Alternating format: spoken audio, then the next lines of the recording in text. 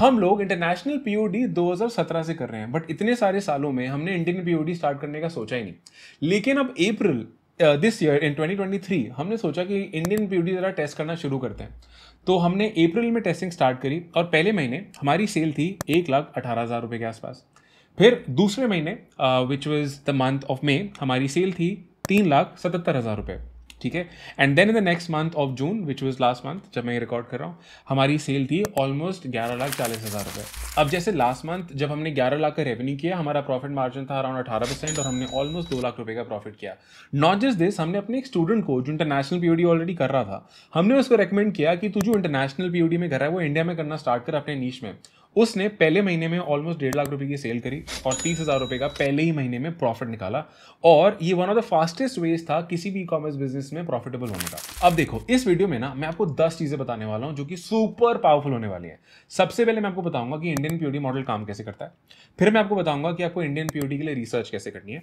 फिर मैं आपको बताऊँगा कि आपको कौन सा सप्लायर यूज़ करना है जो हम रेकमेंड करते हैं, जो हम खुद भी यूज़ कर रहे हैं, उसकी प्राइसिंग क्या है और आप खुद की प्राइसिंग कैसे रखोगे। उसके बाद मैं आपको बताऊँगा कि एड स्ट्रक्चर फेसबुक एड चलाने का क्या स्ट्रक्चर है जो हम खुद फॉलो कर रहे हैं।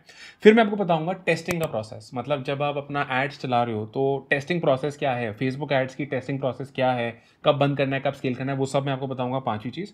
छठी चीज़ मैं आपको बताऊँगा कि प्रॉफिट जज कैसे करने हैं, क्योंकि देखो इंडियन ब्यूटी में मतलब इंडियन ई कॉमर्स ही है तो cash on delivery RTO return ये सब होते हैं। तो प्रॉफिट जजमेंट बहुत ज़रूरी है। तो मैं आपको बताऊँगा कि प्रॉफिट जज कैसे करने हैं। फिर मैं आपको बताऊँगा स्केलिंग कि हम क्या स्केलिंग स्ट्रैटेजी अप्लाई कर रहे हैं फॉर इंडियन पीओडी फिर मैं आपको बताऊँगा कि ऑर्डर कन्फर्मेशन और आरटीओ मैनेजमेंट आपको कैसे करना है। फिर मैं आपको बताऊँगा प्रॉफिट और लॉस का एक टेम्पलेट मैं आपको बना के दूँगा, जो मैं लिंक में भी डाल दूँगा नीचे डिस्क्रिप्शन में, और आप उसको यूज़ कर सकते हो। और फाइनली फिर मैं आपको एक रेकमेंड करूँगा रूट की। आपको मैं रेकमेंड करता हूँ ये टिप्स ये ट्रिक्स और इस रास्ते से ताकि आप सक्सेसफुली एक इंडियन एक प्रॉफिटेबल इंडियन पीओडी बिज़नेस बना सको, ये सबसे इंपॉर्टेंट पार्ट होने वाला है। अब सबसे पहले बात करते हैं इंडियन पीओडी मॉडल के बारे में। उससे पहले पीओडी को समझना बहुत ज़रूरी है। वैसे पीओडी से रिलेटेड मैंने बहुत वीडियोस बना रखी है बट मैं एक बहुत बेसिक आपको बता देता हूँ। पीओडी एक e commerce drop shipping model है, जहाँ पे प्रिंटेड आइटम सेल करते हो टी शर्ट्स मार्क्स हुडीज जैसे, जहाँ पे सारी मैनुफैक्चरिंग प्रिंटिंग डिलीवरी आपका सप्लायर करता है। आप एक वेबसाइट बनाते हो, उस पर ट्रैफ़िक भेजते हो, आप मेन काम अपना रिसर्च में करते हो और कस्टमर्स को लाने के लिए करते हो, जो कि आप फ्री मेथड से ला सकते हो, जैसे इंस्टाग्राम कॉन्टेंट क्रिएट करके, या पेड मेथड से ला सकते हो जैसे कि फेसबुक एड्स क्रिएट करके। तो मॉडल ये होता है और सारी डिलीवरी आपका जो सप्लायर है वो डायरेक्टली आपके कस्टमर को डिलीवर कर देता है। अब जहाँ तक इंडियन पीओडी की बात होती है ना इंडियन पीओडी इंटरनेशनल पीओडी से थोड़ा सा अलग है। सबसे बड़ा डिफरेंस आ जाता है अप्रोच में कि रिसर्च कैसे करनी है। ठीक है कि अगर आप आ, मतलब उसमें आपको इंडियन मार्केट में देखना पड़ता है कि किस तरह के डिज़ाइन वगैरह चल रहे हैं जो कि मैं आपको बताऊँगा कि हम कैसे रिसर्च करें और वो डिज़ाइन की क्या क्वालिटीज़ हैं। जो आपकी रिसर्च में आपको ध्यान रखना है। फिर बात आ जाती है सप्लायर की। कौन से सप्लायर के पास जाए? जाए इंडियन पीओडी में वहाँ डिफरेंस आ जाता है। क्योंकि फिर वही सप्लायर आपके लिए कैश ऑन डिलीवरी वाले वाला पैसा भी कलेक्ट करता है। फिर आपके अकाउंट में डिपॉजिट करता है। उसमें कितना टाइम लगता है? वहाँ पे इंडियन पीओडी थोड़ा अलग हो जाता है in comparison to international POD क्योंकि इंटरनेशनली काफ़ी टाइम से हो रहा है। हम भी कर रहे हैं। मैंने काफ़ी कॉन्टेंट भी बनाया उस बारे में। इंडियन पीओडी न्याय है हमारे लिए भी। और कई सारे इंडियन लोगों के लिए भी। तो मेन डिफरेंस यहाँ पे वहाँ पे आ जाता है। इसके बाद एड स्ट्रक्चर जो हमारी फेसबुक एड की स्ट्रैटेजी इंटरनेशनल पीओडी के लिए इंडियन पीओडी के लिए वो अलग है। मतलब आ, हमने जो टेस्ट किया जो हमारे लिए काम करा है मैं आपको वो चीज़ इसमें भी बताने वाला हूँ। इसके बाद प्रॉफिट जज करना यहाँ बहुत इंपॉर्टेंट हो जाता है क्योंकि देखो ऐसा नहीं है कि आज आपको जो रेवेन्यू दिख रहा है वो आपने मान लिया रेवेन्यू नहीं। उसमें से काफ़ी ऑर्डर डिलीवर नहीं होते वापस आते हैं। तो वो इसको आरटीओ बोलते हैं रिटर्न टू ओरिजिन तो उस चीज़ का ध्यान रखना भी ज़रूरी होता है। पता चले आपने मान लिया पचास हज़ार का रेवेन्यू है, इतना एड स्पेंड किया तो इतना प्रॉफिट हो जाएगा प्रोडक्ट कॉस्ट माइनस करके बट ऐसा नहीं होता। वो पचास हज़ार में से हो सकता है दस हज़ार रुपये के जो ऑर्डर्स हैं वो वापस आएँ। तो एक्चुअली आपका रेवेन्यू पचास नहीं है, चालीस है। तो वो जज करना बहुत ज़रूरी हो जाता है इंडियन पीओडी में। इसके अलावा जब ऑर्डर्स आते हैं तो कॉल करने पड़ते हैं कस्टमर को कंफर्म करने के लिए। ऑपरेशंस कैसे रन होते हैं ऑर्डर्स कब निकालने हैं इंडियन पीओडी में ये भी बहुत इंपॉर्टेंट चीज़ हो जाती है। और प्रॉफिट लॉस वगैरह कैलकुलेट करते हुए चलना पड़ता है स्पेशली शुरू शुरू में, ताकि आपको पता रहे कि आपका आरटीओ मतलब जो रिटर्न है, वो इतना परसेंट रहता है उसी हिसाब से फिर आप अपने बिज़नेस को स्केल करते हो, ठीक है? तो इंडियन पीओडी मोटा मोटा यही है, और अगर आप इंटरनेशनल के बारे में पीओडी के बारे में जानते हो तो मेन डिफरेंसेस आपके यहाँ पे आएँगे। अब हम लोग बात करना चाहते हैं स्टार्ट करते हैं इंडियन पीओडी की रिसर्च के बारे में, ठीक है? कि इंडियन पीओडी में रिसर्च कैसे होती है? तो देखो, सबसे पहले आपको जब पीओडी इंडियन इंडियन पीओडी के लिए रिसर्च करनी है, आपको ना कुछ नीशेज चाहिए होंगी। आपको माइंड में कुछ नीचे सोचनी पड़ेंगी कि भाई मैं इन नीचेज में जाना चाहता हूँ या जाना चाहती हूँ। अब या तो ये नीचेज आप खुद के दिमाग से ले आओ। मान लो आपका कोई इंटरेस्ट है किसी नीचेज में, जैसे आप फिटनेस में बहुत इंटरेस्ट रखते हो। योगा में रखते हो टीचिंग में रखते हो, जैसे कुछ नीचेज हैं या रिलेशनशिप्स में रखते हो। और फिर आप क्या करोगे, आपने सोच लिया, यार, इन नीचेज के लिए मैं बहुत पैशनेट हूँ, मैं इनमें ही अपना एक पीओडी ब्रांड बनाऊँगा। तो आपने पाँच नीचेज की लिस्ट बना ली जो अलग अलग हैं। ये तो हो गया एक तरीका।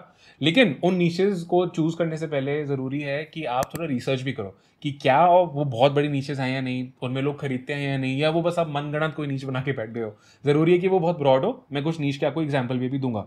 दूसरा तरीका होता है, आप देखो कि मार्केट में ऑलरेडी किस नीशेज में चीज़ें बिक रही हैं। नीच का मतलब होता है कैटेगरी ठीक है? अब जैसे मैंने आपको बोला कि मार्केट में देखो क्या चल रहा है, मेरा मतलब मार्केट का ये नहीं कि तुम अपने लोको लोकल मार्केट चले जाओ। मार्केट से मेरा मतलब है ऑनलाइन ठीक है? जैसे अमेजोन पे क्या बिक रहा है टी शर्ट्स में, या फ्लिपकार्ट पे क्या बिक रहा है, या एटसी इंडिया पे क्या बिक रहा है, ठीक है? या गूगल करके आपने देखा कि प्रिंटेड टी शर्ट में किस तरह की प्रिंटेड टी शर्ट बिक रही है इन टर्म्स ऑफ़ नीशेस ठीक है? तो इसका मैं तुम्हें एक एग्ज़ाम्पल देता हूँ। लेट से मैं गया अमेजोन पे और मैंने वहाँ पे जाके सर्च किया प्रिंटेड टी शर्ट ठीक है? जब मैंने प्रिंटेड टी शर्ट सर्च किया ना तो कुछ ऐसी टी शर्ट थी जो मुझे दिख रही थी, जो मैं तुम्हें भी स्क्रीन पर दिखाऊँगा। पहली टी शर्ट है, जिसमें ना नासा स्पेस और ये सब वर्ड लिखा हुआ है, ठीक है? दूसरी टी शर्ट है जो बोलती है वेके मोड मतलब वेकेशन मोड तीसरी टी शर्ट थी जिसमें लिखा था वर्ल्ड नंबर वन डैट ये सारी अमेजोन से उठाई है मैंने। चौथा था जहाँ पे ना एक ओम का साइन बना हुआ है और शिवजी वाला एक साइन बना हुआ है मतलब एक सिंबल बना हुआ है, ठीक है? और तो ये ये ये चार एग्ज़ाम्पल मान लेते हैं। अब अगर तुम देखोगे, ये चार टी शर्ट ना कुछ नीशेस को सिम्बलाइज करती हैं। जो पहली टी शर्ट है, वो है स्पेस वाली नीच मतलब वो लोग जो कि स्पेस में बहुत इंटरेस्ट रखते हैं।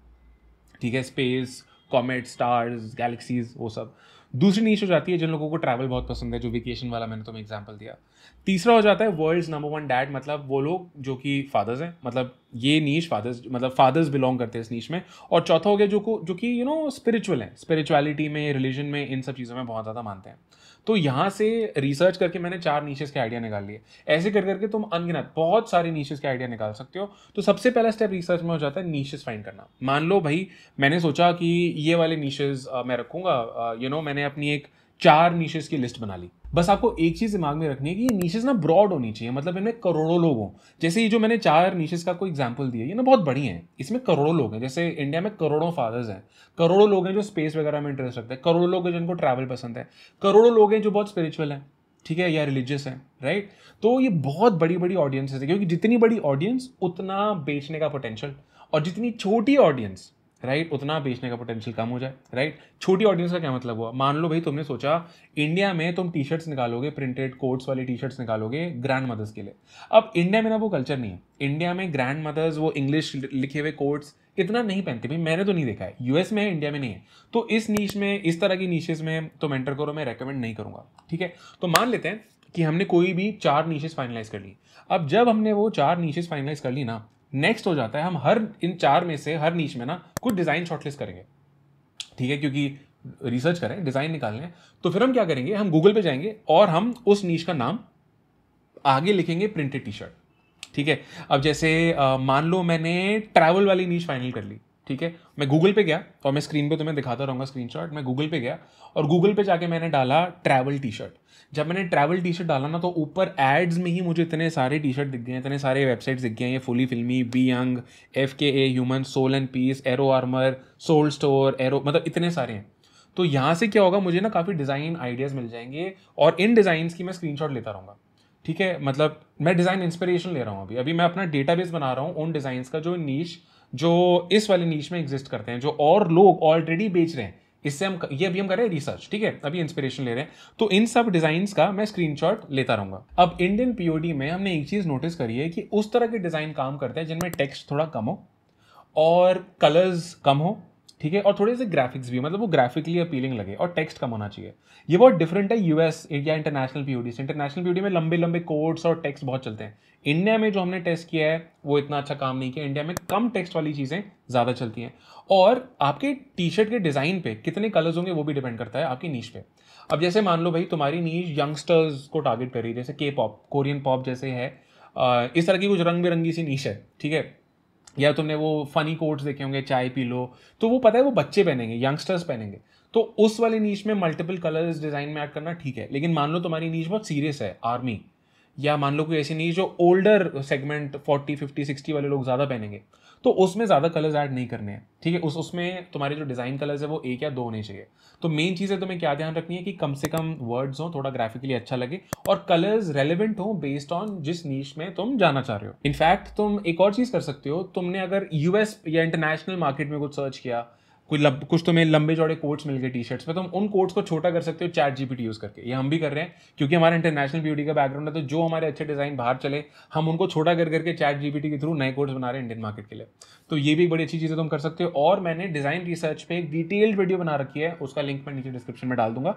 इस वीडियो को देखने के बाद उसको भी देख लेना, तुम्हें थोड़ी सी और मदद मिल जाएगी। उसके बाद तुम्हें क्या करना है, तुमने ये जो भी रिसर्च करी है ना, जो भी तुमने ये डेटाबेस बनाया डिज़ाइन का, अपनी चारों नीशेस के लिए, उनमें से ना टॉप फाइव डिज़ाइन पिक करने हैं। अब वो टॉप फाइव डिज़ाइन कैसे पिक करें, जो भी मैंने तुमसे अभी चीज़ें शेयर करी, कि कम वर्ड्स हों कलर कितने होने चाहिए, वो नीच की रेलिवेंसी पे डिपेंड करे। जितने कम कलर वैसे उतना अच्छा होता है। एक या दो से ज़्यादा कलर वैसे मत रखा करो डिज़ाइन में, चाहे बहुत ही रंग बिरंगी और यंगस्टर्स वाली नीच है बट एक या दो से कलर मैं रेकमेंड नहीं करूँगा, तुम रखो। उससे तुम्हारा प्रिंटिंग का कॉस्ट बढ़ेगा और डिज़ाइन थोड़ा कॉम्प्लिकेटेड हो जाता है। जितना सिंपल रखोगे ना चीज़ों को, उतना अच्छा है। ठीक है? तो इस तरह की चीज़ें भाई तुमने दिमाग में रख ली। तो तुमने क्या किया कि उन चार नीचेस के लिए पाँच डिज़ाइन ईच तुमने फाइनल कर लिए। मतलब पाँच इंटू चार बीस। तुमने टोटल बीस डिज़ाइन फाइनल कर लिए, उसके स्क्रीनशॉट तुम्हारे पास रेडी हैं। फिर तुम्हें क्या करना है, तुम्हें एक डिज़ाइनर ढूंढना है। खुद डिज़ाइन मत करना भाई। अगर तुम प्रोफेशनल डिज़ाइनर हो टी शर्ट के तो कर लो, लेकिन अदरवाइज़ मत करना। आई डोंट वांट कि तुम बहुत ही बेकार से डिज़ाइन बना लो, फिर बोलो कि ये लोग खरीद नहीं रहे राइट तो तुम एक डिज़ाइनर ढूंढोगे। डिज़ाइनर ढूंढोगे तुम फाइवर डॉट कॉम पर जाके F I V E double R वहाँ पर जाओ, कोई अच्छा टी शर्ट डिज़ाइनर ढूंढो, जो अच्छे डिज़ाइन बना रहा है, जो तुम्हें दिख रहा है कि हाँ ऐसे डिज़ाइन ये बंदा बना सकता है जो सिमिलर है मेरी रिसर्च से। वो तो मैं इसके पोर्टफोलियो में दिख जाएगा कि हाँ इसने ऐसे डिज़ाइन बना रखे हैं। अदरवाइज़ एक डिज़ाइन एजेंसी भी रेकमेंड कर दूँगा, उसका लिंक मैं नीचे डिस्क्रिप्शन में डाल दूँगा। अब बात करते हैं सप्लायर और टी शर्ट की प्राइसिंग के बारे में। तो सबसे पहले, जो सप्लायर हम यूज़ कर रहे हैं, ये बिल्कुल ही नॉन प्रमोशनल मैं बता रहा हूँ, जो सप्लायर हम यूज़ कर रहे हैं, वो है क्विकिंग क्विकिंग क्विकिंग का लिंक भी मैं नीचे डिस्क्रिप्शन में डाल दूँगा। क्विकिंग बोलना थोड़ा सा डिफ़िकल्ट है। बट एनीवे ये सब लायर हम यूज़ कर रहे हैं और इनको यूज़ करके हमें जो एक टी शर्ट का कॉस्ट पड़ता है, एक ए फोर साइज़ डिज़ाइन के लिए हम ए फोर साइज़ डिज़ाइन ही डालते हैं वो हमें पड़ता है कुछ तीन सौ अस्सी, तीन सौ नब्बे रुपये चार सौ रुपये मान लो तुम इंक्लूडिंग एवरीथिंग चार सौ रुपये पड़ता है। ठीक है? और यूनिसेक्स टी शर्ट है जो हम सिलेक्ट करते हैं। अब अगर क्विकिंग हमें चार सौ रुपये दे रहा है सब मिला के, हम अपनी टी शर्ट का प्राइस रखते हैं सेवन नाइन्टी नाइन या एट नाइन्टी नाइन हम स्प्लिट टेस्ट कर रहे हैं ऑफकोर्स सेवन नाइन्टी नाइन में ज़्यादा सेल आती है बट कुछ नीशेज में आठ एट नाइन्टी नाइन में भी ज़्यादा सेल आती है, वो आपको टेस्ट करना पड़ेगा बट सेवन नाइन्टी नाइन से कम मत जाना। कम से कम मतलब चार सौ की चीज़ ले रहे हो तो कम से कम डबल करके उसको बेचो, उससे कम मैं रेकमेंड नहीं करूँगा, वरना तुम बाकी के खर्चे निकाल नहीं पाओगे कि एड स्पेंड भी होगा, काफ़ी चीज़ें होती हैं। तो सेवन नाइन्टी नाइन वैसे अब तक बेस्ट काम किया बट कुछ नीचेज़ में हमारे लिए एट नाइन्टी नाइन वाला जो सेगमेंट है मतलब प्राइस पॉइंट है, वो भी अच्छा काम कर रहा है। ये लोग डिलीवरी लेते हैं यार दो से तीन दिन की। दो से तीन दिन सॉरी दो से तीन दिन ये लोग लेते हैं प्रोडक्शन के लिए, ठीक है? दो से तीन दिन में ये लोग प्रोडक्शन करते हैं और फिर उसके बाद चार से पाँच दिन में ये लोग डिलीवर कर देते हैं। तो यूजली हमने देखा है कि within five to seven days five to eight days delivery हो जाती है, जिस दिन ऑर्डर आया, उसके within seven days on average ये लोग वैसे डिलीवर कर देते हैं। ठीक है? और डिलीवरी के दो से पाँच दिन के अंदर अंदर जो कैश ऑन डिलीवरी का पैसा है ये हमारे अकाउंट में डाल देते हैं। ठीक है? आज ऑर्डर आया within seven days delivery होगी और उसके within three to five days जो भी अगर वो कैश ऑन डिलीवरी का ऑर्डर था ये लोग आ, आपके अकाउंट में वो पैसा डाल देंगे। जो वो पैसा ये लोग कलेक्ट करके आपके अकाउंट में दिखाते हैं, उस पैसे से ना आप इनको भी पे कर सकते हो मतलब वो वॉलेट अपना रिचार्ज कर सकते हो। क्योंकि क्विकिंग आपसे चार्ज कैसे करेगा? जब भी आपका ऑर्डर आया और आपने क्विकिंग को बोला डैशबोर्ड पे आपने सिलेक्ट कर लिया ऑर्डर कि भाई ये सारे ऑर्डर तुम निकालो तो आपके वॉलेट से पैसे कट जाते हैं। वो इनका एक वॉलेट इन लोगों ने क्रिएट कर रखा है। तो जब तुम्हारा सीओडी का पैसा आएगा, वो तुम अपने वॉलेट में भी ऐड कर सकते हो which is a good thing आपको बार बार इनके वॉलेट में पैसा ऐड करने की ज़रूरत इस वजह से नहीं पड़ेगी। और अगर आप अपने प्रीपेड ऑर्डर्स की परसेंटेज बढ़ाना चाहते हो एक और चीज़ टेस्ट कर सकते हो।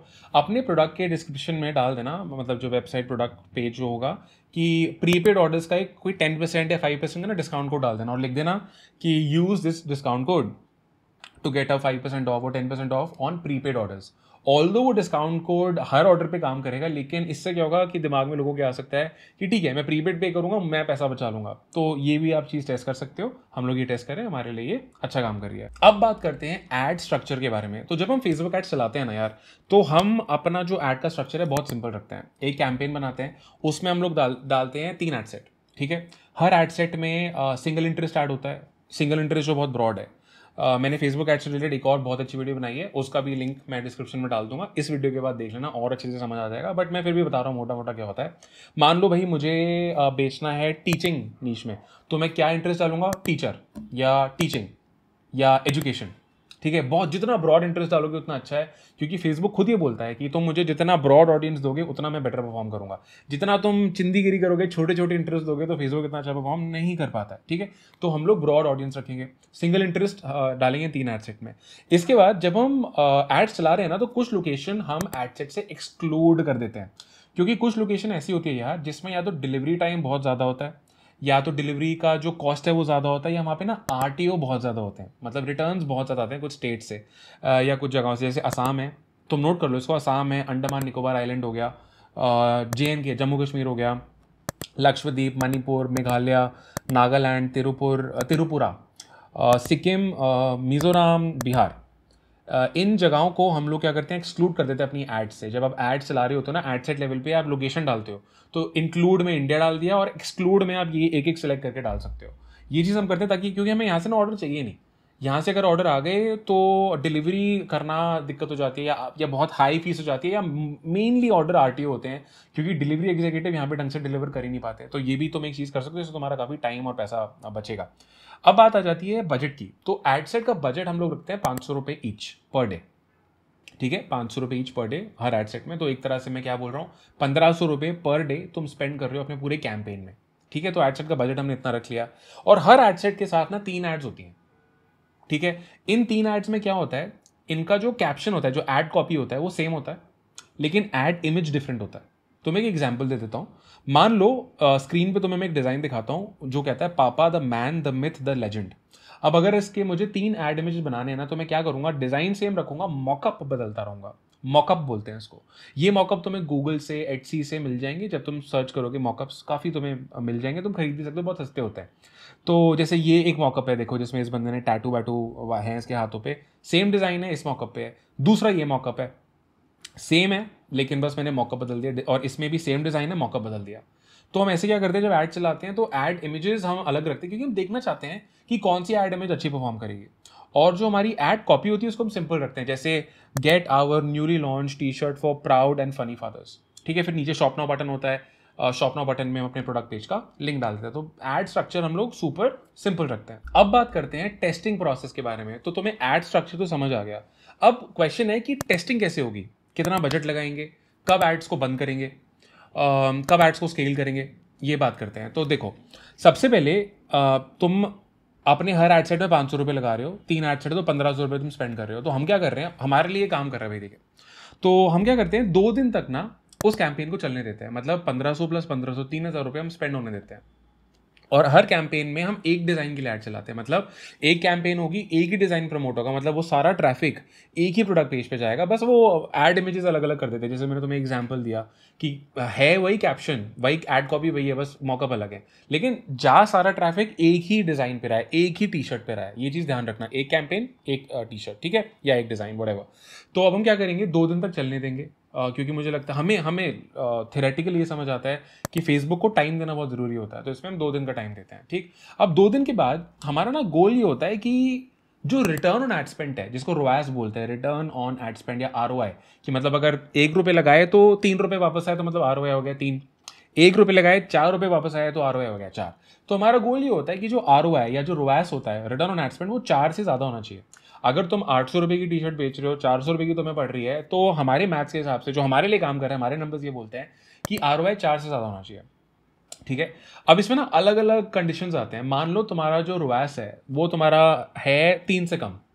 अगर दो दिन के बाद तुम्हारा ओवरऑल रुवैस थ्री से कम है, तीन से कम है मतलब ना तुम्हें ना लॉस होगा उस केस में। तो तुम्हें इस वाले कैंपेन को रोक देना है। कुछ टेंशन नहीं रोक देना है। अगर तुम्हारा रोवैस तीन से चार के बीच में इसका मतलब हो जाएगा कि तुम ना ब्रेक इवन कर रहे हो ऑलमोस्ट ठीक है?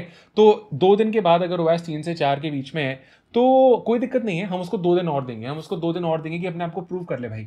इस कैंपेन को बोलेंगे, अपने आप को प्रूव कर ले तो दो दिन और दिए तेरे को। अब अगर उन दो दिन में इसका रोवैस चार के ऊपर चला जाता है तो बढ़िया है। लेकिन अगर नहीं जाता, अगर अभी भी तीन से चार के बीच में है तो हम इस इस कैंपेन को भी हम बंद कर देंगे। क्योंकि फ़ायदा नहीं है यार। ब्रेक इवन होगा ऑपरेशनली तुम कॉल ज़्यादा करोगे, मेहनत ज़्यादा करोगे फ़ायदा नहीं है। हम बिज़नेस कर रहे हैं कि फ्रंट पे हमें प्रॉफिट चाहिए। ठीक है तो रोक देंगे इसको। लेकिन अगर चार से ऊपर गया तो ठीक है, चलने देंगे। अब तीसरा कंडीशन हो जाता है कि तुम्हारा रोबायस चार से ऊपर है। ओके अगर तुम्हारा रोबायस चार से ऊपर है तो तुम स्केल करना शुरू करोगे। ऑल दो मैं तुम्हें अभी आगे एक और बहुत इंपॉर्टेंट चीज़ बताऊँगा कि इंडियन पीडी में ना स्केल बहुत स्लोली करना होता है। उस पर हम फिर से बात करेंगे। बट उससे पहले मैं तुम्हें पहले तैयार कर देता हूँ कि अगर तुम्हें स्केलिंग करनी है तो तुम्हें कैसे करनी है? तो चलो, अब बात करते हैं स्केलिंग के बारे में। तुम्हें एक चीज़ समझ आ गई, ये स्केल करना है, जब तुम्हारा ओवरऑल जो रोवैस है, वो तुम्हारा चार से ऊपर होना चाहिए। मतलब दो दिन तुमने टेस्ट किया, चार से ऊपर होना चाहिए। चलो, दो दिन टेस्ट किया ब्रेक इवन था, लेकिन फिर चार से ऊपर हो गया, दो दिन के बाद। तो मतलब स्केल करना है। अब स्केल करेंगे हम प्रॉफिटेबल एडसेट को, जिस एडसेट में रोवैस चार से ज़्यादा है। ठीक है? उसमें हम करेंगे वर्टिकल स्केलिंग यानी हम क्या करेंगे? सबसे पहले वो पाँच सौ का जो बजट था उसको कर देंगे पंद्रह और बजट बढ़ाने के बाद तीन दिन उस एडसेट को बिना छुए चलने देंगे. ठीक है? पंद्रह के बजट पे वो तीन दिन तक मतलब पंद्रह पर डे के बजट पे वो तीन दिन तक चलेगा. अब तीन दिन के बाद भी अगर उसका रोयास चार से ऊपर ही है, बढ़िया है बजट बढ़ा दो. लेकिन इस बार ट्रिपल ना करके बजट हम डबल करेंगे. ये स्ट्रैटेजी हम फॉलो कर रहे हैं. ठीक है? टेस्ट कर रहे हैं. तो पंद्रह सौ का बजट हो जाएगा तीन हज़ार रुपये तीन हज़ार रुपये फिर से तीन दिन चलने देंगे पर डे बजट पे। चल गया रोयास चार से ज़्यादा है, बढ़िया है बजट फिर से डबल कर दो। किसी भी पॉइंट पे अगर रोयास चार से कम हुआ तो तुम वापस आ जाओगे पुराने बजट पे। मतलब मान लो तीन हज़ार रुपये पे वो चल रहा था, तुम्हारा रोवास तीन, तुमने देखा लास्ट तीन दिन का, तीन दिन चलने दिया रोवास तुम्हारा ड्रॉप हो गया। तुम वापस पंद्रह सौ के बजट पे आ जाओगे। अगर पंद्रह सौ पे फिर से टिक हो जाते तो तुम बजट फिर बनाने का ट्राई करोगे। अगर नहीं होता, वापस आ जाओगे। लेकिन याद रखना, तीन दिन देने ज़रूरी है। एक एक दिन में मत खेलते रहना फेसबुक के साथ। तीन दिन दो। ओके? ये हो गया, अगर तुम्हारा जो रुवायस है वो तुम्हारा चार से ज़्यादा चल रहा है। दूसरा केस आ सकता है कि मान लो तुम्हारा रुवायस था चार से कम। तुमने, तुम्हारा पाँच सौ पे चल रहा था, तुमने पंद्रह सौ करा, तीन दिन तक तुमने चलने दिया। लेकिन उन तीन दिन के बाद जो तुम्हारा रुवाज था, भाई वो चार से कम हो गया तो तुम क्या करोगे? तुम वापस आ जाओगे पाँच सौ के बजट पे। ठीक है, पाँच सौ के बजट पे वापस आओगे, तीन दिन और दोगे। अगर वो पाँच सौ के बजट पे फिर से रुवाज चार से ऊपर है, फिर से पंद्रह सौ पे आ जाओ। लेकिन पाँच सौ पे भी अगर वो चार से नीचे जा रहा है तो तुम उस एडसेट को बंद कर दोगे। ठीक है तो फंडा बहुत क्लियर है। पंद्रह सौ जब तुमने बजट बढ़ाया, तुमने तीन दिन दिए। अगर तीन दिन के बाद रुपये चार से जब तक ज़्यादा रहेगा, तुम डबल करते रहोगे। अगर चार से कम होगा, पिछले बजट पे आ जाओगे। लेकिन पाँच सौ से कम नहीं आना। पाँच सौ पे होके भी अगर तुम हम प्रॉफिट नहीं निकाल पा रहे हो, चार से ज़्यादा रुपये नहीं है, अपना टाइम मत वेस्ट करो, हम नेक्स्ट डिज़ाइन में मूव करेंगे। काफ़ी लोग ही गलती करते हैं, लगे रहते हैं, लगे रहते हैं। एक डिज़ाइन से इमोशनली कनेक्ट हो जाते हैं, मत करो, ठीक है? हमें ऐसे डिज़ाइन चाहिए जो तुम्हें प्रूव करें अपने आप को, जो तुम्हें अच्छा रोवैस ला के दें, जो तुम्हें अच्छा प्रॉफिट ला के दें, क्योंकि वही डिज़ाइन तुम्हें स्केल करने में हेल्प करेंगे। वरना ये एक एक दो दो सेल से तुम्हारा क्या होगा? तुम्हें ऐसा कुछ चाहिए जिसका रोवैस बहुत अच्छा है, जिसको तुम स्केल कर पाओ जिस डिज़ाइन से तुम्हें वॉल्यूम मिले, वहीं से तुम्हारा मेन प्रॉफिट होगा। अब मैं नेक्स्ट आपको बताऊँगा कि आपको ऑर्डर कंफर्म कैसे करने हैं आरटीओ मैनेज कैसे करना है, और एक पीएनएल का फॉर्मेट भी शेयर करूँगा, एक प्रॉफिट लॉस का फॉर्मेट शेयर करूँगा, जिससे आप समझ पाओगे इनफैक्ट एक एग्ज़ाम्पल भी दूँगा, जिससे तुम्हें समझ आ जाएगा कि ऑपरेट कैसे करना है नंबर्स वगैरह कैसे देखना है। बट उससे पहले मुझे एक चीज़ बताओ, क्या तुम्हें अपना एक इंडियन पीओडी या इंटरनेशनल पीओडी बिज़नेस बनाने में हेल्प चाहिए हमारी? हम लोग ना 2019 से एक प्रोग्राम चलाते हैं, एक मेंटोरशिप प्रोग्राम चला रहे हैं जिसमें हमारे, जिसमें हम सिखाते हैं कि आप एक पीओडी बिज़नेस कैसे बिल्ड कर सकते हो। उसमें हम इंटरनेशनल पीओडी इंडियन पीओडी दोनों सिखाते हैं, ठीक है? हमारे स्टूडेंट्स ओवर पचास करोड़ का कंबाइंड रेवेन्यू कर चुके हैं अपने खुद के पीओडी बिजनेसेस में, जो उन्होंने स्क्रैच से स्टार्ट किए थे, बिना किसी एक्सटर्नल फंडिंग के हमारे मेंटोरशिप प्रोग्राम के थ्रू ठीक है? और हम खुद इस बिज़नेस से 40 करोड़ से ज़्यादा का रेवेन्यू कर चुके हैं। अगर तुम हमारी मदद चाहते हो, अगर तुम हमारे मेंटोरशिप प्रोग्राम का पार्ट बनना चाहते हो तो तुम प्रोग्राम की ईमेल वेटिंग लिस्ट को ज्वाइन कर लो। ताकि जब भी हम अपना नेक्स्ट बैच स्टार्ट करें, क्योंकि हमारा नेक्स्ट बैच जल्दी ही स्टार्ट करने वाले हैं, हम रेगुलरली स्टार्ट करते हैं अपने बैचेस को तो जब भी हमारा नेक्स्ट बैच स्टार्ट हो रहा हो, हम तुम्हें ईमेल करेंगे सारे डिटेल्स के साथ कि काम कैसे करता है, क्या करता है तो उसके लिए ईमेल वेटलिस्ट ज्वाइन कर लो, उसका लिंक मैं नीचे डिस्क्रिप्शन में डाल दूँगा। अब हम बात करते हैं ऑर्डर कन्फर्मेशन और आरटीओ मैनेजमेंट के बारे में। तो देखो, हमने क्या कर रखा है ना, हमने दो टाइम स्लॉट सेट कर रखे हैं कॉलिंग के। एक टाइम हमने रखा हुआ है ग्यारह से एक का और एक हमने रखा हुआ है छः से आठ का।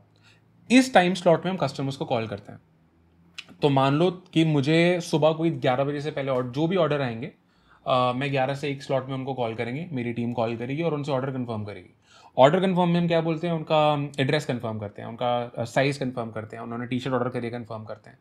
कॉल करने का रीज़न ये है कि यार कल को डिलीवरी एग्जीक्यूटिव इनको जब कॉल करे ना तो ये उठा ले। दूसरा इन्होंने एड्रेस सही दिया हो। कई बार क्या होता है कि कस्टमर फ़ोन ही नहीं उठाते तो हम ऐसे ऑर्डर कैंसिल कर देते क्योंकि कल को डिलीवरी एग्जीक्यूटिव कॉल कर रहा है, उठा नहीं रहे तो वो आरटीओ होगा। और आरटीओ एक लॉस होता है, क्योंकि हमने डिलीवरी का तो पे करा ही टी शर्ट का भी पे करा राइट तो हम, हमें आरटीओ नहीं चाहिए।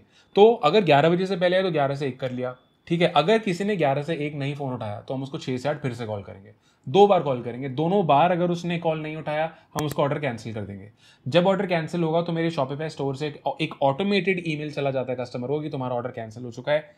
और आप उस टेम्पलेट को ना एडिट भी कर सकते हो शॉपिफाई में कि हमने we tried contacting you but we could not blah blah blah otherwise नहीं भी करोगे तो चलेगा। जो सीरियस होगा कस्टमर वो आपको कॉल बैक करेगा या कोई ईमेल करेगा। ठीक है? अगर आपका मान लो शाम के चार बजे ऑर्डर आया तो आप उसको छः से आठ कॉल कर लिया आपने। छः से आठ आपने शाम को उसको कॉल किया, उसने उठा लिया तो ठीक है कन्फर्म नहीं उठाया तो अगले दिन फिर से ग्यारह से एक तुम उसको कॉल कर लेना बीच में। या हम अभी हम ये फॉलो करते हैं कि हम हर कस्टमर को दो बार कॉल करेंगे अलग अलग टाइम में, एक सुबह का टाइम है, एक शाम का टाइम है। दोनों में से एक बार भी नहीं उठाया तो कैंसिल एक बार भी उठा लिया तो बढ़िया है। कैंसिल करने के बाद अगर कॉल बैक आ गया तो उसका ऑर्डर वापस हम कन्फर्म कर देते हैं। ठीक है तो कॉलिंग का अपना ये हिसाब रहता है। एक चीज़ याद रखना, बिना कॉल कन्फर्मेशन लिए हुए ऑर्डर मत निकालना। क्योंकि अगर वो तुम्हारा कॉल नहीं उठा रहा, वो डिलीवरी एग्जीक्यूटिव का भी कॉल नहीं उठाएगा। डिलीवरी एग्जीक्यूटिव आसानी से बहुत ईजिली ऑर्डर कैंसिल कर देंगे, तुम्हारा लॉस होगा। ठीक है, एक और चीज़ ध्यान रखना, जब तुम कॉल कर रहे हो ना तो कस्टमर से ना, एक उसके एड्रेस का लैंडमार्क पूछ लेना कि आसपास कौन सी जगह क्योंकि हमने ये देखा है कि जिन जिन ऑर्डर्स में लैंडमार्क होता है, उनमें आर कम होता है। क्योंकि डिलीवरी एग्जीक्यूटिव ना, देखो यार डिलीवरी एग्जीक्यूटिव क्या होते हैं? दस, पंद्रह, बीस हज़ार रुपये कमाते हैं। ये लोग ज़्यादा मेहनत नहीं करते। इनको जल्दी होती है। ठीक है क्योंकि जितने ऑर्डर ही डिलीवर करेंगे, उतना अच्छा है। तो अगर कोई कस्टमर कॉल वॉल नहीं उठा रहा है उसका घर नहीं मिल रहा ना तो ये ऑर्डर कैंसिल कर देते हैं। तो तुम्हें डिलीवरी एग्जीक्यूटिव के लिए चीज़ें बहुत आसान बनानी है, अपनी कोरियर कंपनी के लिए। तो लैंडमार्क पूछना है कस्टमर से कि, सर, और इज़ एयर इज़ एयर लैंडमार्क या आपके घर के पास कोई लैंडमार्क है? और वो अपने शॉप जब जो तुम्हारा ऑर्डर आएगा तो जो कस्टमर का एड्रेस है, वहाँ पे एडिट करके लैंडमार्क ऐड कर देना। और याद रखना, बिना कॉल कन्फर्म करे हुए तुम्हें ये ऑर्डर जो है, वो निकालना नहीं है। ये चीज़ तुम्हें बिल्कुल ध्यान रखनी पड़ेगी, ठीक है? अब बात आती है कि फुलफिलमेंट कैसे होगी, देखो, अब मान लो ऑर्डर कंफर्म हो गया तुम्हारा। तुम एक शीट बना सकते हो इसकी, तुमने एक शीट बना ली गूगल पे या एक्सेल पे। अब जब ऑर्डर कंफर्म हो गया है तो तुम क्विकिंग पे जाओगे और सारे कंफर्म्ड ऑर्डर ना सिलेक्ट कर लोगे। वो उसका एक डैशबोर्ड है क्विकिंग का, वहाँ पे तुम्हें दिख जाएगा।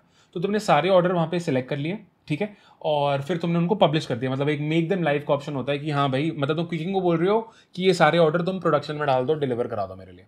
तो क्विकिंग क्या करता है? फिर उसको प्रोडक्शन में डालता है, तुम्हारे वॉलेट से पैसे वैसे कट जाते हैं, वो प्रोडक्शन में डालता है, फिर उसको शिप वगैरह करता है, ठीक है? क्विकिंग क्या करता है कि ऑर्डर डिलीवर होने के जो मैंने तुम्हें बताया कि within three to five days COD का पैसा तुम्हारे बैंक में डाल देता है। ठीक है? डिलीवरी का भी मैं तुम्हें ऑलरेडी बता चुका हूँ कि ये काम कैसे करता है। और तुम सोचोगे, यार, तुमने सोचा कि अगर जो आर होंगे, उनका क्या होता है? तो क्विकिंग क्या करता है कि जो आर के ऑर्डर आते हैं ना, वो फिक्स टाइम तक अपने पास रखता है। मतलब आई थिंक पंद्रह या तीस दिन का एक टाइमलाइन होता है, मुझे एग्जैक्ट नंबर याद नहीं आ रहा है। वो पंद्रह या तीस दिन तक वो ऑर्डर अपने पास अपने वेयर हाउस में रखते हैं। अगर उस पर्टिकुलर साइज़ और उस पर्टिकुलर डिज़ाइन में फिर ऑर्डर आया तो क्विकिंग उसी को यूज़ करके वापस भेजता है। ये बहुत ही बढ़िया बात है, क्योंकि तुम्हें फिर से उस टी शर्ट का पे करने का ज़रूरी नहीं है। मान लो तुमने दस टी शर्ट का पे कर दिया था ऑलरेडी उसमें से दो टी शर्ट वापस आ गई। तो अगर वो दो टी शर्ट में से सेम डिज़ाइन सेम साइज़ का ऑर्डर फिर से आएगा, क्योंकि उसी को उठाएगा, क्योंकि वो बार कोड सिस्टम लगाते हैं, उसी को उठाएगा और वापस तुम्हारे कस्टमर को डिलीवर कर देगा। इससे तुम्हारा फ़ायदा क्या है कि कल जब फिर से वो ऑर्डर आया तुम्हें फिर से टी शर्ट का पे करने का ज़रूरत ज़रूरत नहीं हुआ। तो जो तुमने पहले आरटीओ के लिए और मतलब पे भी किया वो जो ऑर्डर था तुम्हें फिर से पे करने की ज़रूरत नहीं है। ये एक बहुत अच्छी चीज़ है। इससे तुम्हारा पैसा भी बचता है और आरटीओ मैनेजमेंट भी हो जाता है। ठीक है? अब हम लोग बात करते हैं प्रॉफिट लॉस की। सबसे इंपॉर्टेंट चीज़। ये सबसे इंपॉर्टेंट चीज़ है क्योंकि अगर आ, देखो इंडियन ई कॉम है तो आरटीओ तो होंगे। ठीक है? तो अपने नंबर्स को समझना बहुत ज़रूरी हो जाता है। ये ध्यान रखना ज़रूरी हो जाता है कि तुम्हें पता हो कि भाई आरटीओ कितना हो रहा है, कितना नहीं हो रहा। स्केल करें या ना करें, ये बहुत ही इंपॉर्टेंट है। कई लोग गलती करते हैं कि आर टी ओ कुछ देखते नहीं है स्केल मार देते हैं। उनको लगता है रेवेन्यू आ रहा है स्केल करो स्केल करो। आरटीओ बढ़ जाता है लॉस हो जाता है। तो कोई फ़ायदा नहीं है। तो एक चीज़ याद रखना कि तुम्हें ना बहुत स्लो जाना है। बहुत स्लो गेम खेलना है, ठीक है? देखते हुए चलना। मैं एक तुमसे एक एक टाइमलाइन शेयर करता हूँ। हम ये टाइमलाइन फॉलो किया इसलिए हमने स्लोली स्लोली स्केल किया। पहले एक लाख था फिर तीन लाख था फिर ग्यारह लाख। स्लोली स्लोली स्केल किया ताकि हम ऑपरेशनली ना हर चीज़ देख सकें ओके okay? uh, क्योंकि देखो स्केल करोगे तो नंबर ऑफ़ कॉल्स भी बढ़ेंगे कंफर्मेशन कॉल्स भी बढ़ेंगे राइट कई लोग क्या करते हैं कंफर्मेशन कॉल्स छोड़ देते हैं ऑर्डर निकालते रहते हैं सोचते हैं ऑर्डर ठीक है लेकिन फिर दिक्कत हो जाती है। जब तक कॉल पे कंफर्मेशन ना मिले ऑर्डर नहीं निकालना है ठीक है? अब जहाँ तक प्रॉफिट लॉस बनाने की बात है ना हम लोग दो स्टेटमेंट बनाते हैं। एक स्टेटमेंट एक पीएनएल बनाते हैं जिसको हम बोलते हैं वर्स्ट केस पीएनएल और एक हम बनाते हैं महीने के एंड में जो कि एक्चुअल पीएनएल होती है। वर्स्ट केस पीएनएल मुझे डेली बताती रहती है कि मेरा बिज़नेस मेरा धंधा कैसा चल रहा है स्केल करूँ, ना करूँ। और महीने की एंड वाली में मेरे को एक्चुअल नंबर पता चल जाते हैं। महीने की एंड वाली पीएनएल वर्स्ट केस वाली से हमेशा बेटर निकलती है। मतलब प्रॉफिट ज़्यादा ही होता है। वर्स्ट केस वाले से ज़्यादा ही होता है। तो मैं क्या करूँगा, मैं तुम्हें अपना स्क्रीन शेयर करके ना, ये दोनों पीएनएल फॉर्मेट दिखाऊँगा, इसका लिंक भी डाल दूँगा नीचे। उससे पहले वर्स्ट केस पीएनएल बनाने में ना कुछ अजम्पन्स करने पड़ते हैं। मैं बताता हूँ। वर्स्ट केस पीएनएल में हम मान के चलते हैं कि हम दो कॉल भी कर रहे हैं, सब कर रहे हैं, उसके बाद भी आरटीओ बीस परसेंट है। वर्स्ट केस ठीक है? दूसरी चीज़ हम मान के चलते हैं कि भाई जो बीस परसेंट आरटीओ आएगा ना, वो गया मतलब वो पैसा गया। मतलब आइडियली क्या वो वो बीस परसेंट ऑर्डर वापस आ गए हैं, मैं उसको ऑलरेडी पे कर चुका हूँ, फिर से वो यूज़ होंगे। बट मैं मान लेता हूँ, जला दिए मैंने। वर्स्ट केस लेके चल रहे हैं। ये वर्स्ट केस हम इसलिए लेते हैं कि चलो बुरा से बुरा ये होगा। और उस बुरे से बुरे में भी हम प्रॉफिट निकालेंगे। तो सोचो जब एक्चुअल नंबर्स आएँगे तो प्रॉफिट मार्जिन और बढ़ के आएगा। समझ रहे हो? तो मैं बेस्ट केस नहीं सोच रहा हूँ मैं वर्स्ट केस सोच रहा हूँ। और वर्स्ट केस को भी मैं प्रॉफिटेबल बनाऊँगा। ठीक है? नेक्स्ट चीज़ हम मान के चलते हैं कि अपन uh, मतलब जो मेरा एड कॉस्ट है उसमें जीएसटी में मिला के चलता हूँ कि मेरा एक्सपेंस है ये। तो इनपुट और ये सब की मुझे उम्मीद है ही नहीं मतलब एक्सपेक्टेड है ही नहीं। इससे याद आया, मैंने टैक्सेस से रिलेटेड भी एक वीडियो बना रखी है, उसका भी लिंक में डाल दूँगा नीचे, उस वीडियो को भी देख लेना। काफ़ी मस्त वीडियो है टैक्सेस समझने के लिए जीएसटी वगैरह समझने के लिए। और क्विकिंग पे यूजली देखो तीन सौ अस्सी, तीन सौ नब्बे रुपये का चार्ज आता है, कुछ केसेस में चार सौ आता है बट मैं मैक्सिमम चार सौ रुपये मान के चलते हैं कि वर्स्ट केस चार सौ रुपये पर पीस में पे करूँगा। एक्चुअली में होगा इससे कम ही, लेकिन वर्स्ट केस मान रहे हैं मतलब मरी से मरी हालत में मार रहे हैं, ठीक है? तो मैं क्या करता हूँ मैं तो मैं अपना स्क्रीन शेयर करता हूँ और तुम्हें ये दोनों पीएनएल के फॉर्मेट दिखाता हूँ। ओके तो देखो, ये है मेरा वर्स्ट केस पीएनएल मान लो यहाँ पे मैंने ये डेट डाली, ठीक है? ये मेरा कंफर्म्ड रेवेन्यू है। मतलब ये वो था कि तीस हज़ार रुपये मैंने ऑर्डर कंफर्म करे, जो ऑर्डर कंफर्म नहीं थे, मैंने वो कैंसिल कर दिए। उसके बाद भी तीस हज़ार रुपये का मेरा रेवेन्यू था। वर्स्ट केस मैंने मान लिया कि बीस परसेंट तो आर टी होगा ही होगा। तो मैंने फॉर्मूला लगा रखा कि इसमें से बीस परसेंट तो रेवेन्यू हटाई दो। नंबर ऑफ़ पीसेज मान लो मेरे आए थे थर्टी एट एक्सक्यूज़ मी मतलब जब मैंने ये मेरा रेवेन्यू है तो थर्टी एट पीसेज आए, ठीक है? क्विकिंग का कॉस्ट मैंने मान लिया आ, देखो क्या क्या माना है मैंने? नंबर ऑफ़ पीसेज इंटू चार सौ रुपये कि इतना मेरा जाएगा क्विकिंग को। एड स्पेंड मेरा इस दिन हुआ था पाँच हज़ार इंक्लूडिंग जीएसटी लिख दिया मैंने। प्रॉफिट मेरा क्या निकला? Worst case revenue minus best worst case क्विकिंग cost minus ये एड स्पेंड तो मेरा प्रॉफिट निकला और यहाँ मेरा निकल गया प्रॉफिट परसेंटेज ऐसे मैंने हर एक दिन का तुम्हें एग्ज़ाम्पल डाल के दिखा रखा है। तो यहाँ पे मान लेते हैं कि मेरा टोटल इतना रेवेन्यू हुआ भाई इतना मेरा प्रॉफिट हुआ। अब आ जाता है एक्चुअल पीएनएल एक्चुअल पीएनएल में मैं क्या करता हूँ, मैं महीने के एंड में जब नंबर बनाने बैठता हूँ ना तो मेरा जो रेवेन्यू होता है, मान लो इतना निकला बट मेरा आर टी बीस परसेंट नहीं, मेरा आर निकलता है पंद्रह परसेंट। तो मेरा एक्चुअली जो रेवेन्यू होता है वो आठ लाख पचास होता है। नंबर ऑफ़ पीसेज मेरे इतने हो गए, इसके बाद मेरा क्विकिंग कॉस्ट एक्चुअली मैं मान के चल रहा था कि पाँच लाख निकलेगा, लेकिन पाँच लाख नहीं निकला। मेरा एक्चुअल कॉस्ट निकला चार लाख अस्सी हज़ार। क्यों? क्योंकि क्विकिंग के काफ़ी ऑर्डर थे जो आरटीओ में वापस आए और क्विकिंग ने उन्हीं को यूज़ कर लिया। तो यहाँ पे मैं अज्यूम करके चल रहा था कि मैं रोज़ रोज़ ही क्विकिंग को चार सौ रुपये दे रहा हूँ हर पीस के। लेकिन मान लो इस दिन पच्चीस ऑर्डर आए ना, पच्चीस में से सिर्फ़ बीस ऑर्डर का मुझे पे करना पड़ा, बीस पीसेस का। पाँच पीसेस का मुझे फिर पे ही नहीं करना पड़ा, क्योंकि वो पाँच पीस क्विकिंग के पास ऑलरेडी पड़े हुए थे आरटीओ के फॉर्म में। समझे? तो एक्चुअली में ये कॉस्ट कम लगा मेरा। तो इसलिए मेरा एक्चुअल जो क्विकिंग कॉस्ट होता है वो कम निकलता है। एड स्पेंड जो मेरा यहाँ पे था वो उतना ही आ, आ, मतलब उतना ही निकला तो वो भी ठीक है। और इसलिए मेरा प्रॉफिट बढ़ गया मेरा मार्जिन बढ़ जाता है। समझ गए? तो वर्स्ट केस पीनल मेंटेन करो डेली इससे तुम्हें अपने नंबर्स का आइडिया लगता रहेगा। कॉलिंग होती रहनी चाहिए वो सब नहीं छोड़ना भाई। वो सब छोड़ दिया तो ये बीस परसेंट नहीं है फिर तो बहुत ज़्यादा मान के चलो। ठीक है जी?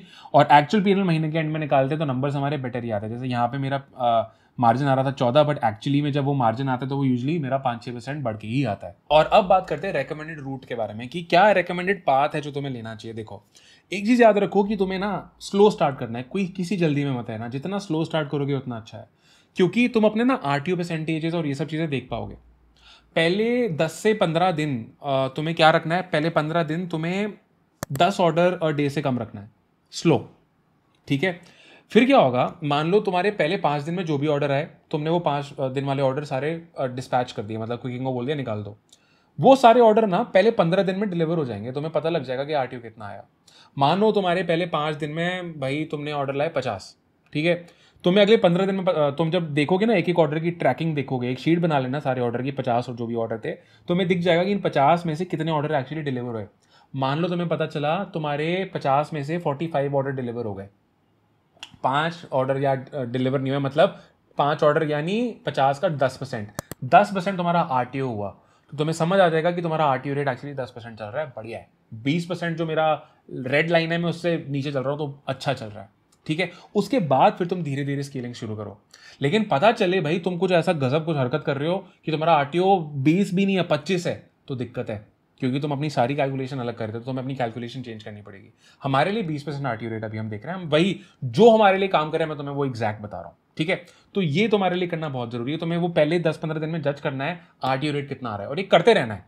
सिर्फ़ पहले पंद्रह दिन नहीं, पहले दो महीने ना तुम्हें एनालाइज करना है। तुम्हें एनालाइज करना है तुम्हारा आरटीओ कैसा चल रहा है। कन्फर्मेशन कॉल तुम्हें छोड़नी नहीं है। तुम्हें देखना है कि कौन सी नीच ये भी बहुत इंपॉर्टेंट चीज़ है। कुछ कुछ नीचेज में हम देख रहे हैं कि आरटीओ रेट कम हो रहा है। जैसे मान लो फिटनेस नीच में मान लो आरटीओ है बीस। फैमिली नीच में आरटीओ आ रहा है पंद्रह, या मान लो मदर नीच में आ रहा है आरटीओ दस तो तुम्हें ये भी जज करना है कि तुम्हारी सारी नीचेज में से कौन सी नीचेज में आरटीओ सबसे कम है। ये भी देखना तुम्हें बड़ा मज़ा आएगा ये चीज़ करके, ठीक है? तो ये चीज़ ध्यान रखो और स्केलिंग तुम करोगे मंथ थ्री से। पहले दो महीने खेलो खेलो स्लोली खेलो प्रॉफिट कमाओ। देखो कितना आरटीओ है, कितना नहीं है, कौन सी नीच अच्छी काम कर रही है, नहीं कर रही।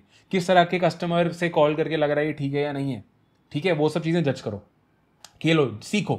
तीसरे महीने से तुम स्केलिंग करोगे और एक चीज़ याद रखना ज़्यादा जल्दी स्केल मत करना, क्योंकि ज़्यादा जल्दी स्केल करके तुम्हारे ऑपरेशन का बैंड बच जाएगा।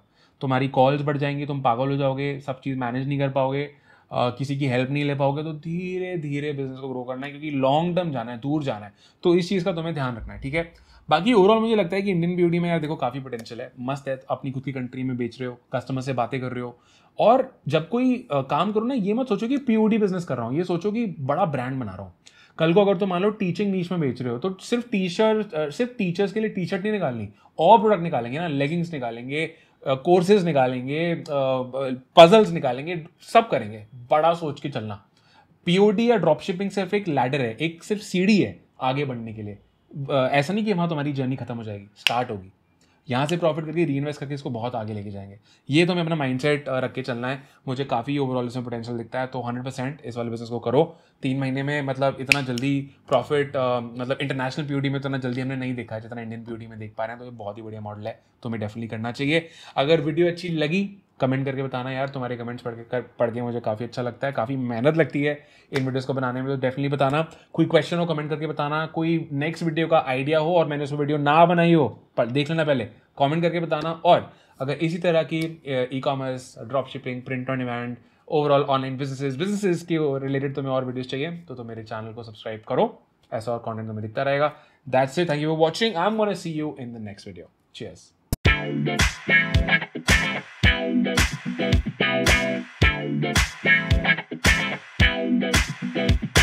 you.